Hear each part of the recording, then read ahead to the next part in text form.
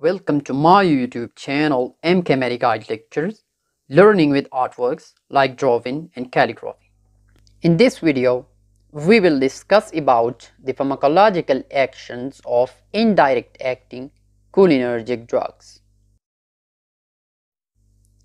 The primary action of indirect acting parasympathomimetics or anticholinesterases is to enhance the actions of endogenous acetylcholine. Indirect acting agents inhibit acetylcholine esterase enzymes which degrade acetylcholine by hydrolysis. So, inhibiting this enzyme will result in increased concentration of acetylcholine in the synaptic cleft with increased acetylcholine actions on receptors subsequently.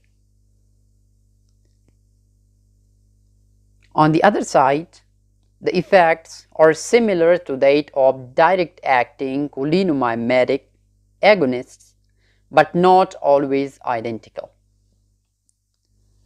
The most prominent pharmacological effects of anticholinesterases are on the cardiovascular system, gastrointestinal system, eyes, and skeletal neuromuscular junctions.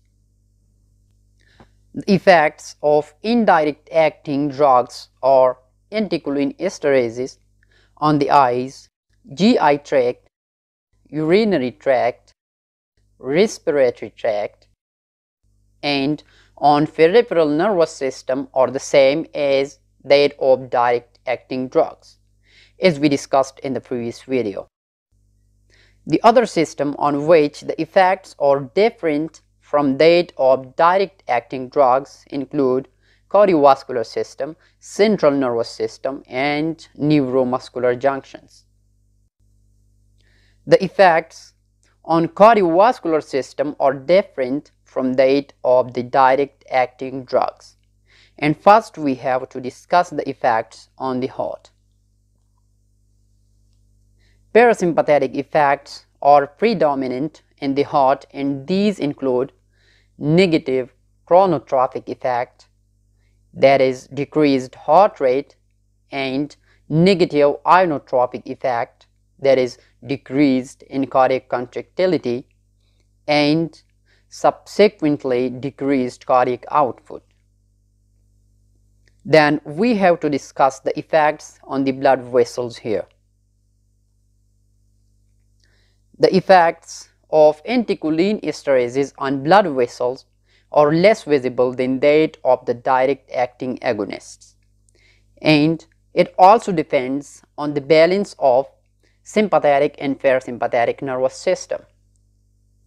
For example, activation of sympathetic ganglia tend to increase vascular resistance and blood pressure, while activation of parasympathetic ganglia tend to decrease vascular resistance and blood pressure. So, the net effects on the cardiovascular system on moderate doses would be modest bradycardia, decreased cardiac output, and no change or modest fall in blood pressure. While in contrast, the effects with higher toxic doses include prominent bradycardia and hypotension. The effects of indirect acting drugs on the central nervous system are also different from that of direct acting drugs and these depend upon the doses of these drugs. For example, low doses of these drugs cause subjective alerting response while higher doses of these drugs may cause generalized convulsion, coma, and respiratory arrest. In addition, as we discussed, the effects on the peripheral nervous system are like that of direct acting drugs, of which we have talked in the previous video. Then, we have to discuss the effects of anticholinesterases on the neuromuscular junctions. These effects vary based on the doses. For example, lower therapeutic concentrations, These agents increase the strength of muscle contraction, especially muscles weakened by myasthenia gravis. While on higher concentration, the effects bring into being by these agents include fibrillation of muscle fibers that is rapid, irregular and unsynchronized contraction of muscle fibers and depolarizing blockade. Beside all these actions of indirect acting drugs, neostigmine also has an additional agonistic activity on the nicotinic receptors of neuromuscular junctions. And that is why it is also chosen for the management of myasthenia gravis. And with this, thanks for watching. Do like and share this video and support us by subscribing to our channel.